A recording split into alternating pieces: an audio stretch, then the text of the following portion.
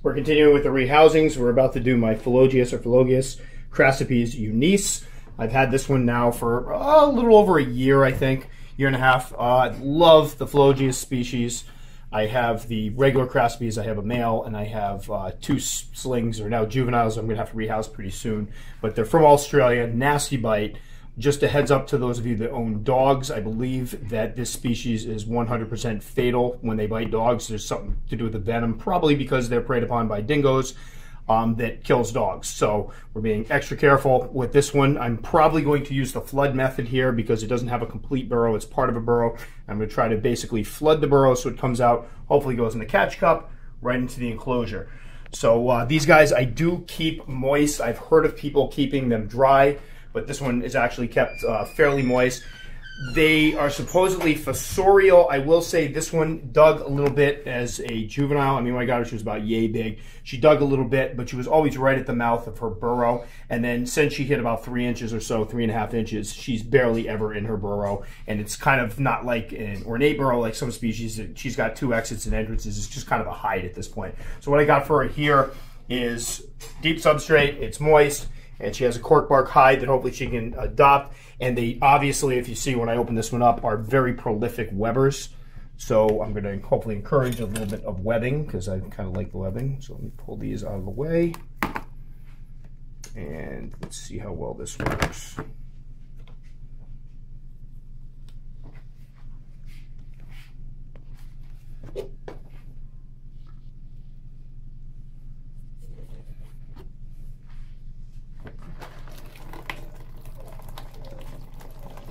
As I pour water all into here, which I don't want.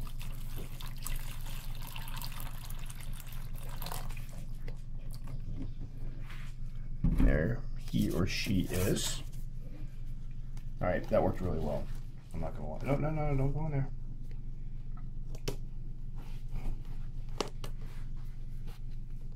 Yeah, you don't want to go in there. Nasty. Trick here is not to catch your legs.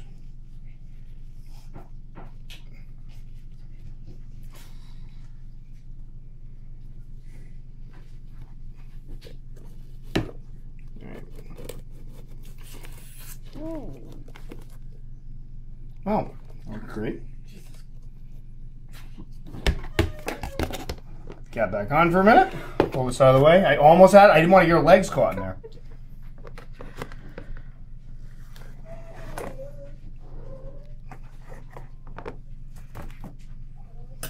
She actually go back in the den? Yes. She's on the top. All right, here we go. One more time.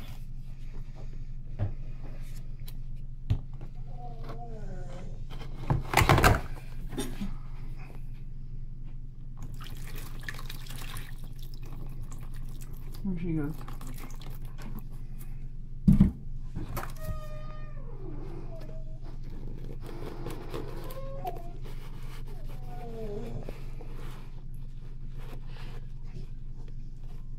There we go. Perfect. Bro, Hold on, knock it off. So there he or she is.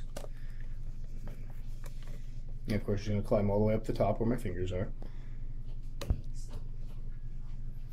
And these guys are very, very fast. I have video up. It's actually one of the first videos I ever posted to YouTube. I was trying to do a feeding video with my uh, mature male before it had matured out, and the speed that these things move at when they get going is is kind of frightening.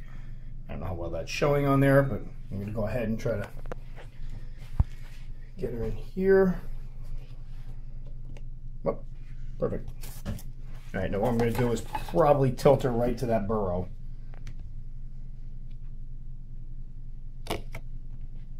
There she is. Phlogius crassipes Eunice, and right in the burrow. Perfect.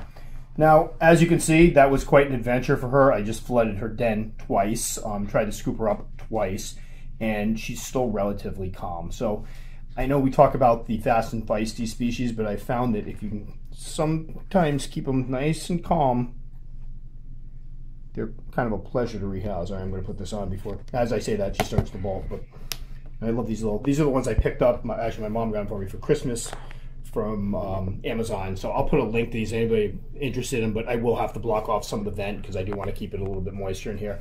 Oh, a note on the substrate. The substrate for this one is topsoil mixed with a healthy dose of vermiculite. I know some people say you don't need to mix it with verm- vermiculite. That's fine. I'm not telling people they have to do it.